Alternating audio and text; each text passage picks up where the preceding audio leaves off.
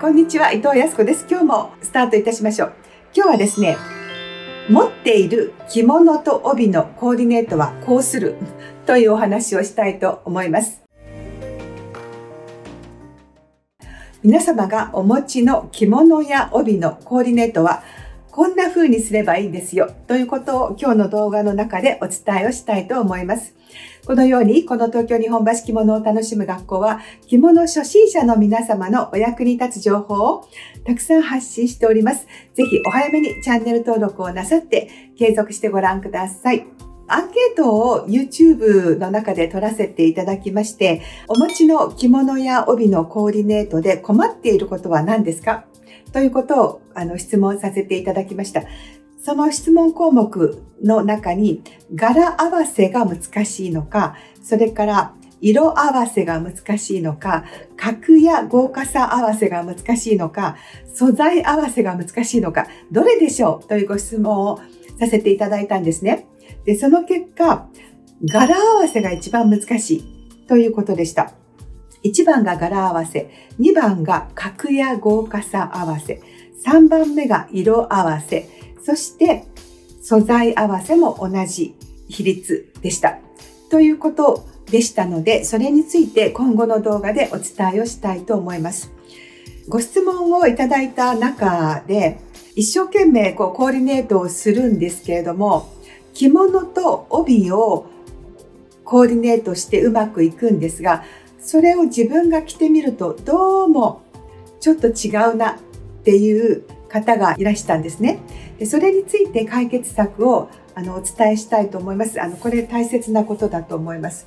畳の上にお着物と帯を置いて帯を何枚か持ってきてうんこれ合うわよね合わないわよねじゃあこのお着物とこの帯が合うわよねっていうふうに考えるんですねでそれブーですそれブーそれ絶対ブーですものすごくブーです。なぜかっていうと誰が着るんですか？それ。誰が着るんですか？あの人？この人？あっちの人？あの人とこの人とこっちの人ではものすごく違うんですよ。もしあなたが着るんでしたら、あなたの顔写真をそこに置いてください。え、だって私自分だもん。っておっしゃらないでください。それブー。みんなブー。100人中100人ブーです。100人中100%ブーです。自分だからこそ自分の顔って見えないでしょ？他の人の顔はここにあれば見えますけど、自分の顔は鏡でしか見れないんですよ。ですから、鏡を置くでもいいです。鏡を置くでもいいので、自分の顔写真、あるいは鏡を置いて、自分の顔が見えるようにしてください。自分の顔が見えるようにしてください。こんな鏡を持ってきて、自分を映して映して見ながら、ここに着物と帯を置いて、この人が、この人がこれとこれを着るのというふうにしてコーディネートを考えてください。そうしないと絶対にいいコーディネートはできないんです。これってとてもシンプルなように見えますよね。そう、シンプルなんです。ですが多くの方がやらない。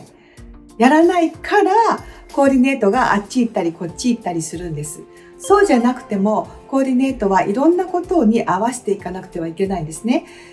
この着物を着るのは昼なの夜なの？それから着るのはどこ？上野の美術館なの？それとも根津美術館なの？緑が多いところなの？そうじゃないの？とかっていろいろ考えますよね。それからお友達はどなたと一緒に行くの？って考えながらやるのに、それを着る自分が入っていないとコーディネートがちぐはぐになるんです。この私の顔が入っていれば、これが合うっていうことがわかるんですね。でも、この顔がなかったらですね、この顔がなかったら、この着物と帯だけでこれ合うってわかりますか？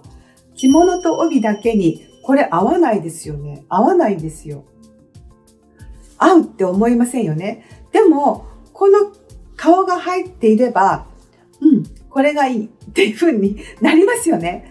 これぐらい違うんです。これぐらい違うんですよ。着物と帯だけ見ていたら、着物と帯だけ見ていたら、これが合うわね。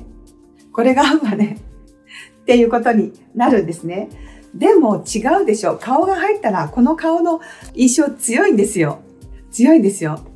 いろんなお顔がいらっしゃるのでね、そのお顔に合わせてコーディネートしてください。そしてそのお顔は外見だけではなくて、あなたはご自分のことだから、この人がこういうものが好きだとか、ああいうものが嫌いとかっていうのが分かってらっしゃるから、鏡に映った自分とか顔写真があれば、これがこの人が好きかどうかが分かるんですね。でもなかったら、なかったら、着物と帯だけだったら、これ合うかどうかさっぱり分かんなくないですか？わからないんですよ。わからないんです。ですから、着物と帯のコーディネートをするときに一番大切なこと、自分の顔を入れる、常に入れることです。そこに置くことなんです。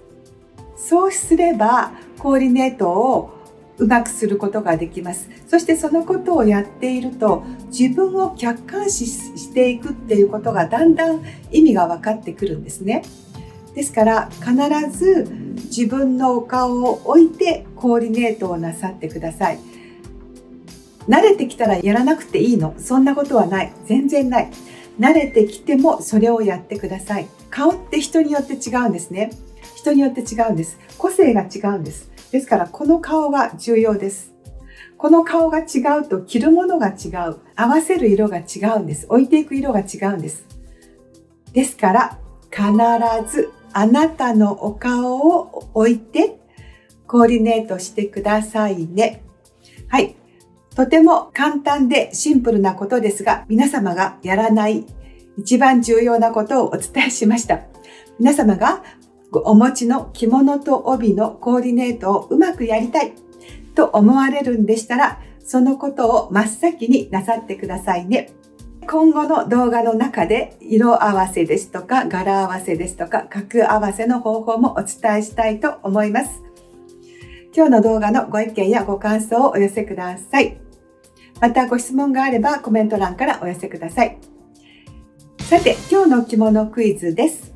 持っている着物と帯のコーディネートには自分のお顔を必ず置いて行うことが重要です。丸か×かどちらでしょうそれではまた次の動画でお会いいたしましょう。ありがとうございました。またお会いいたしましょう。